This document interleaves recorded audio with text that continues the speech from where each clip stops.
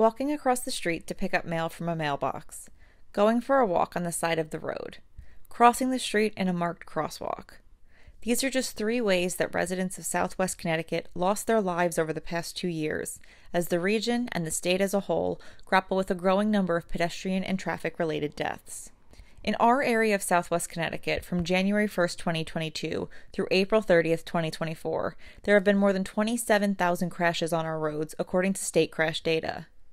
Those crashes involved more than 64,000 people and more than 52,000 vehicles. There were at least 40 deaths in our region during this time that were caused by crashes, as well as 238 serious injuries and more than 2,500 minor injuries.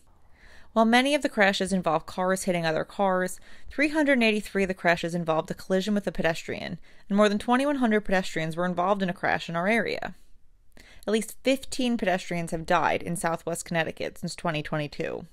While most crashes include some type of personal responsibility from the driver, speeding, distractions, driving too closely, a growing number of pedestrian and traffic safety advocates have been pointing out that street design plays a large role. For example, in Stamford, Washington Boulevard saw three fatalities in 2022. The boulevard's road design plays a large role in the number of crashes along it, according to advocates and officials.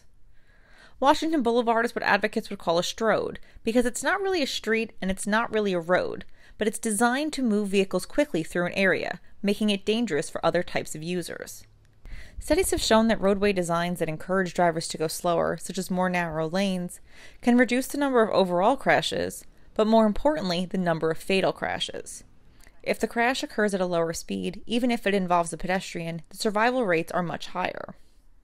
The goal of advocates and officials across southwest Connecticut is to look at ways road design can help slow down drivers and make areas safer for all types of users, including drivers, passengers, pedestrians, and cyclists. Keep an eye out next week for more examples of how communities are working to do just that.